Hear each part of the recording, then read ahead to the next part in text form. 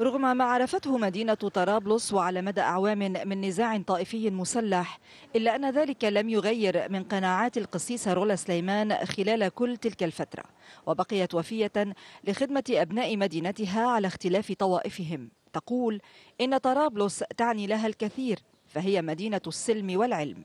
مهم كثير إنه كلنا نحكي عن الشيء اللي بيجمعنا ما بيفرقنا إن كان طوائف مسيحية ضمن بعضنا طوائف أديان إسلامية مسيحية. آه، كثير بهم بهمني إنه نحكي عن المحبة يلي هي موجودة بكل الأديان. نحكي عن السلام اللي هي موجودة بكل الأديان. احترام الآخر وقبوله مثل ما هو. تزاول اليوم القسيسة سليمان مهامها كما اعتادت منذ ما يقارب العشرة أعوام تقريبا من زيارة المرضى ومشاركة سيدات الرعية شؤونهن وشجونهن. أثبتت خلال هذه الفترة خبرتها في الخدمة الرعائية والتربية الدينية. بالنسبة للأساسي رولا يعني نحن شفناها شيء كثير عظيم.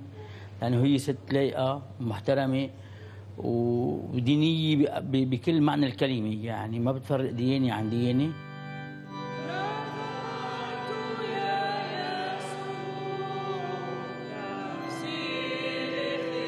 في أول قداس لها بعد سيامتها اعتلت رولا سليمان هذا المنبر برتبة قسيسة بعد موافقة السينودس الإنجيلي الوطني في سوريا ولبنان على قرار الموافقة وتأكيدا على تجاوز مبدأ أفضلية الرجل على المرأة وتفضيل الكفاءة في الخدمة والمسيرة الكهنوتية.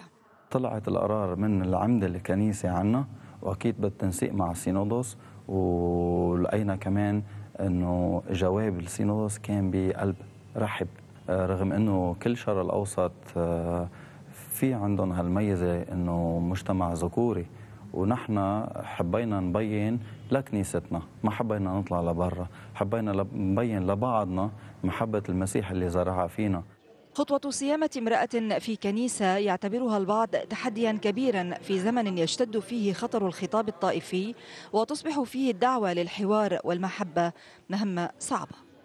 بعد سيامة رولا سليمان كأول قصيصة في لبنان والشرق الأوسط يستعد السينودوس الإنجيلي لسيامة ثاني قصيصة نهاية الشهر الجاري شهر مارس. وبذلك تفتح أبواب الكنائس الإنجيلية هنا في لبنان لسيامة المزيد من السيدات لهذا المنصب الرعوي.